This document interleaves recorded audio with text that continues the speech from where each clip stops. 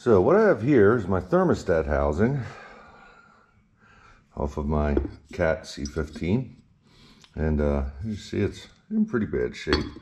Uh, the reason I took it off is that the, uh, there's a gasket that goes on the back here where it goes into the block uh, that failed, was leaking a bit. So when I took it out, figured I should put new thermostats and everything in it.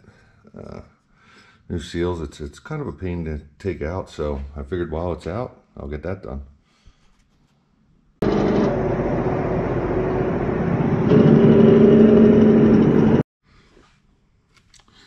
Now, when I took this all apart, these bolts came out real hard, and they are cruddy and rusted and yeah, corroded a bit. So I'm going to clean them up a bit. So what I have here is a die, actually out of a tap and die set that I have here. But what I'm going to do is I'm just going to take this and just clean up those threads. And I actually already did this once, and they were pretty hard to do. Uh, so it actually cleaned out a lot. But I'm do that to each of these. And after I clean them out, it's gonna make it, I mean, go in okay, but still I'm gonna clean them up a little bit.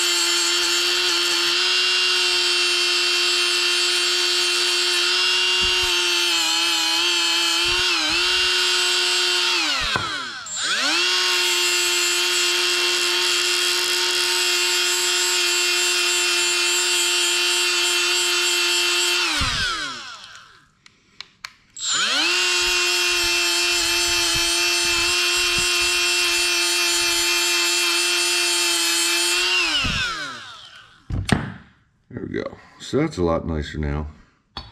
Slip down in there. Yeah. So why didn't I just, why didn't I just get new bolts? Well, Cat is so specific about things. They always use these tapered ends. This bolt right here, well, it's actually a stud with a nut on the end of it, but the whole thing came out, uh, is um, $12.76, I believe it was. And there's two of them, so there's $24. These bolts were $3 a piece and there's two, three, one, two, three, four of them. Them now these or there's two of them, yeah. The long ones that hold them in, they are like four dollars a piece. So a lot easier to just clean them up, you know, and and uh, make them work better.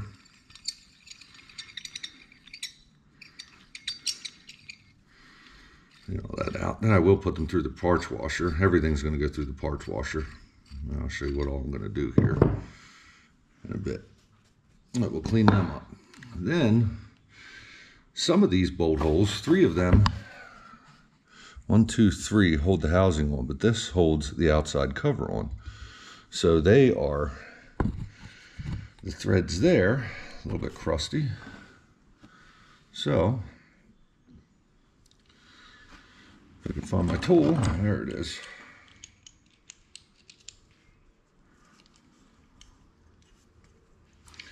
This in, I'll just clean up them threads a bit.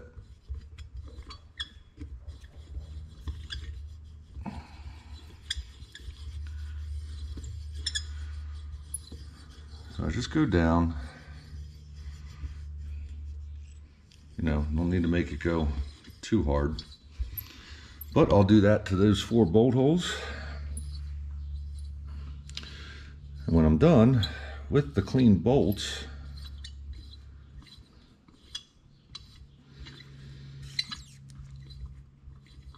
mm, let's see here, I'll take the bolt that I just cleaned up.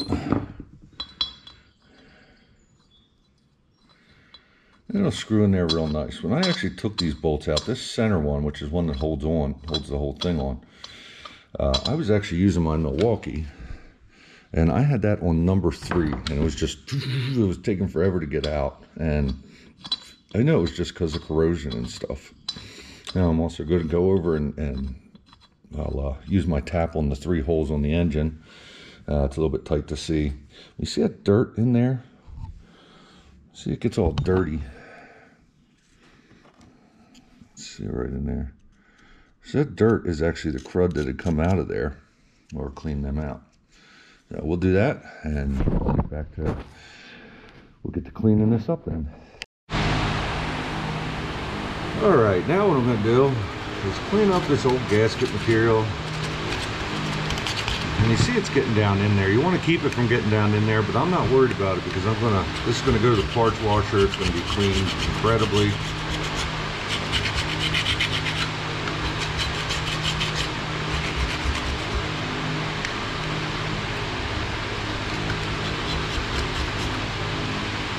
I'm going to do that there, back here,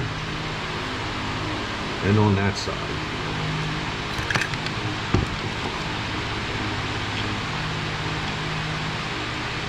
Then when I'm done with that,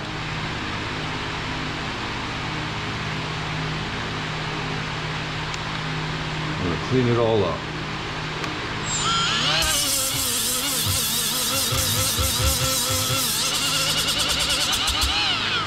Well, that one might be a little bit too hard. But you get the gist. I'm going to get all that cleaned up and have a nice new surface for it. Alright, I got the block all cleaned up. It's ready for the thermostat housing to go back on.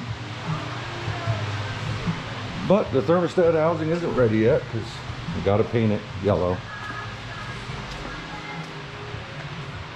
Around here, I'll do a couple coats on that. And I'll get it all put back together, be good as new.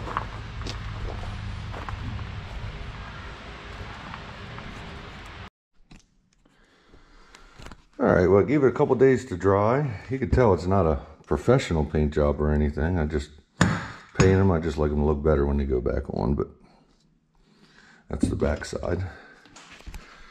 All right, so now what I'm gonna do is you these seals down in here, which I have already replaced. Um, so, let's put new thermostats in.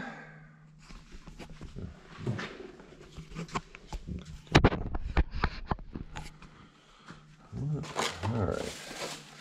There's the part number for the thermostats. I think I paid 60 some dollars a piece for them. So though the other thermostats were good, it just seemed better to do it while this was all apart. All right, so those thermostats are in. Now, here's a new gasket. I know I paid $6 for. I don't know if it really matters which way it goes on. Oh, I guess it has to go on a certain way. Yeah, there we go. All right, guess you can't screw that up. All right. I'll put that on there.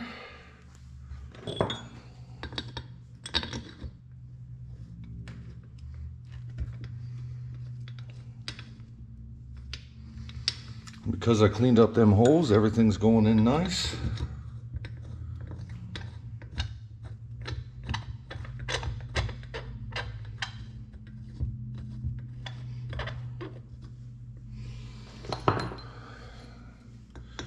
Remember when you're putting this back together, these are the bolt, these are the holes that hold it together, the bolts. And these are the ones that hold it on the engine. So go in once I get that in there, along with the new gasket and everything.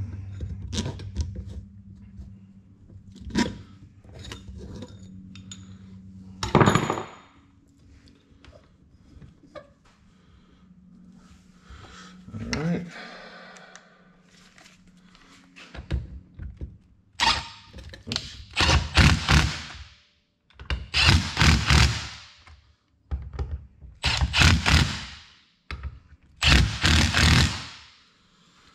All right, and there we have it.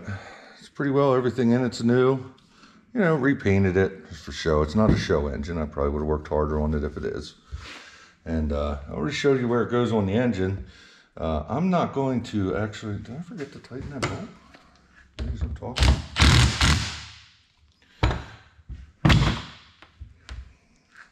So there you have it. Anyway, I'm gonna put it back on the engine. And uh, I'm not gonna do a video of putting it back on the engine because it's not very pretty. What I am gonna do is put a uh, link down below for Adept Apes video when he did it, and that's an actual real mechanic doing it. So he can show you how he took it off, how he replaces the seal and everything in there, because I forgot to take video of me replacing the seal. But I hope you enjoyed this video, and uh, if you did, like and subscribe, and we'll catch you on the next one.